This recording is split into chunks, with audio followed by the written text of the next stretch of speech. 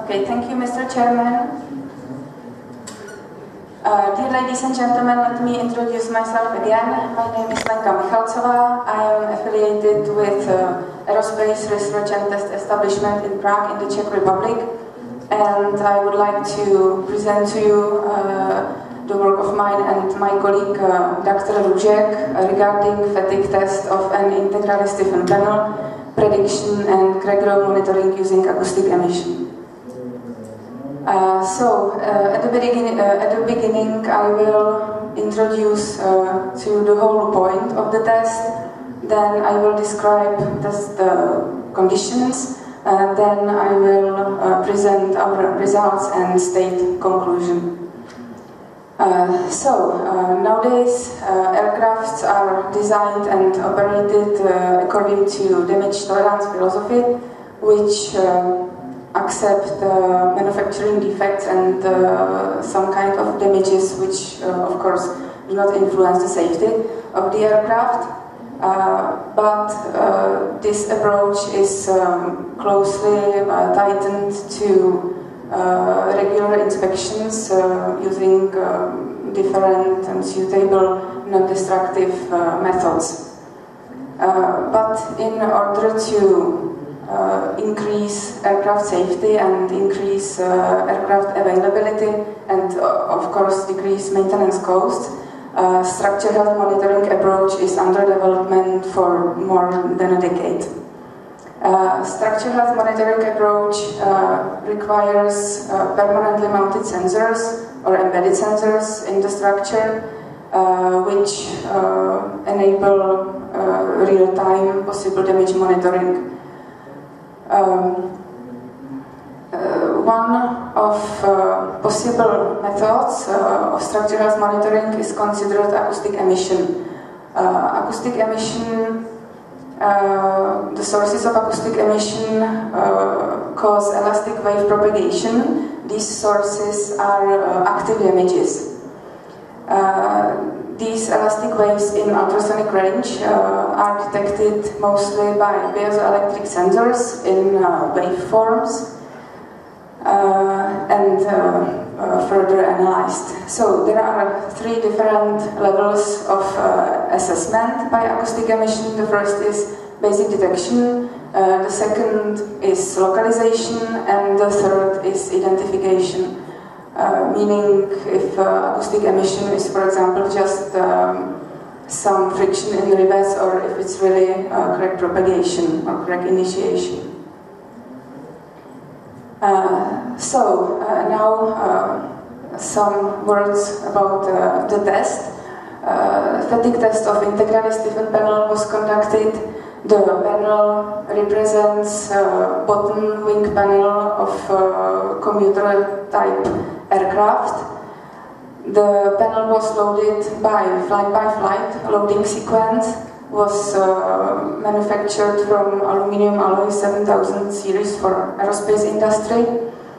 Uh, there was uh, initial notch, a drilled hole in the middle stringer and the crack propagated from this uh, middle stringer on both sides, uh, on both directions, uh, the same. Uh, then the test was terminated after approximately uh, three and a half million cycles uh, to determine residual strength. So, for the purposes of acoustic emission, the data was divided into four stages. The first stage was just the beginning, propagation from the initial notch in the middle stringer. The second stage was during propagation uh, in the first array of skin on the left and on the right side. The third stage was the through propagation in the stringers named B and C, so the first stringers from the middle.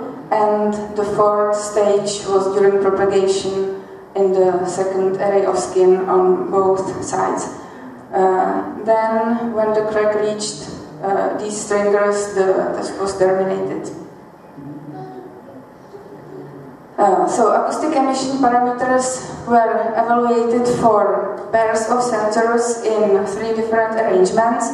The first arrangement was uh, for vertically placed sensors, the second for sensors across the stringers, and uh, the third arrangements for sensors between the stringers, so in uh, one array of the skin. Uh, in order to uh, avoid uh, some environmental or external changes, uh, acoustic emission parameters uh, independent on these external changes needed to be uh, chosen. Uh, as I previously said, elastic waves are detected by piezoelectric sensors in waveforms. basically, the time of signal arrival to different sensors uh, can determine the source of acoustic emission, but because of uh, the stringers uh, on the panel, probably elastic wave propagation was uh, very complex. So uh, time difference of, of arrival, the delta t parameter was used just raw data.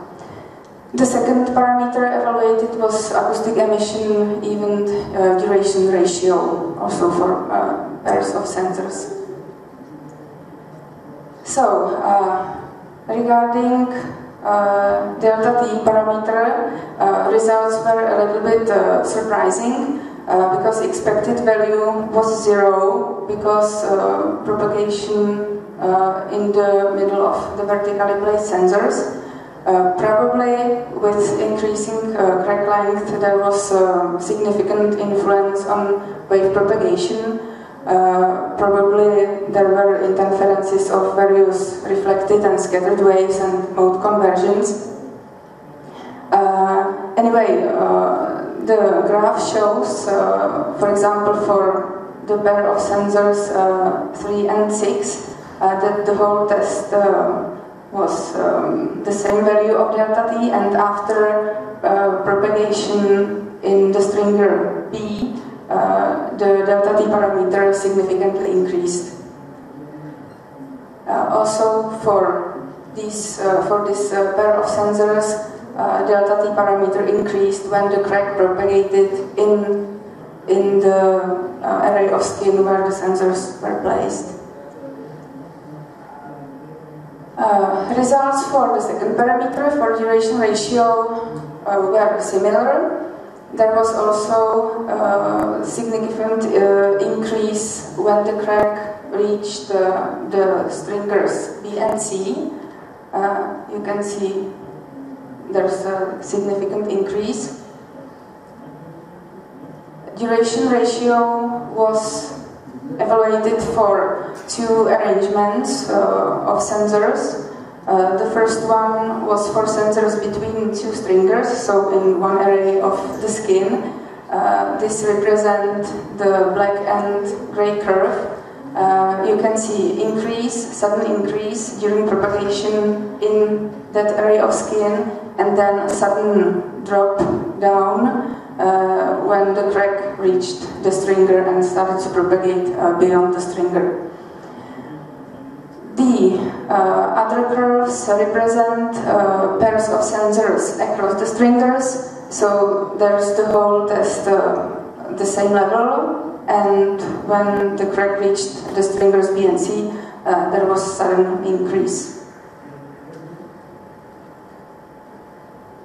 So, Based on the results, it is obvious that uh, crack propagation in the stringers B and C is a stage of the whole test.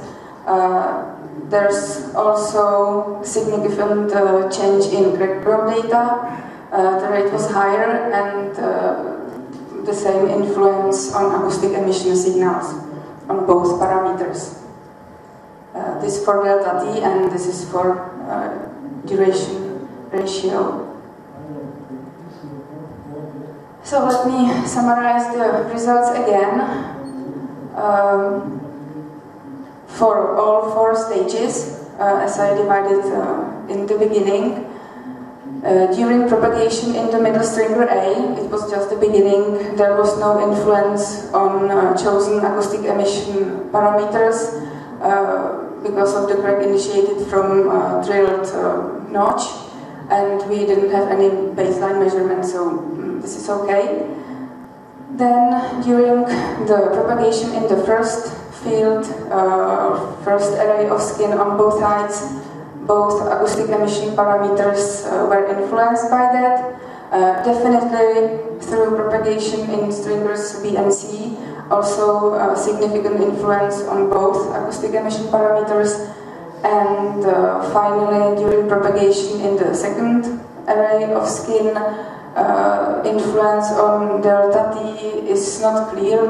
Probably if the test would continue through another stringers, it would be uh, obvious, but definitely duration ratio was also influenced in this stage of propagation. Uh, two, recommendation for future experiments. It would be definitely useful use some uh, finite element simulations or other experimental methods. Uh, FS simulations would be useful for verification of these conclusions. Uh, because uh, we uh, couldn't explain the wave propagation. then also for optimization of sensor placement and definitely for data for localization purposes. So that's all. Thank you for your attention.